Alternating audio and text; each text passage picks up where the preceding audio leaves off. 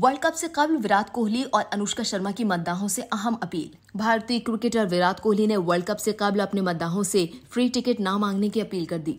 विराट कोहली ने इंस्टाग्राम पर जारी एक बयान में कह दिया कि वो अपने तमाम दोस्तों से अपील करते हैं कि वो 5 अक्टूबर से शुरू होने वाले वनडे वर्ल्ड कप के लिए टिकट ना मांगे। ख्याल रहे कि 2011 के वर्ल्ड कप जीतने वाले स्टार्स वरिंदर सहवाग, रविचंद्रन अश्विन और युवराज सिंह समेत चंद दीगर ने गुजश्ता होम वर्ल्ड कप के दौरान टिकटिंग के मसले के हवाले से अपने तजर्बे शेयर किए थे। विराट कोहली ने इंस्टाग्राम पर जारी बयान में कहा कि वो इस वर्ल्ड कप की टिकट ना मांगे। उन्होंने अपने चाहने वालों को मशवरा दिया कि अगर आप टिकट लेने में नाकाम होते हैं तो बराह करम घर पर क्रिकेट वर्ल्ड कप के मैचेस से लुत्फानंदोज हों।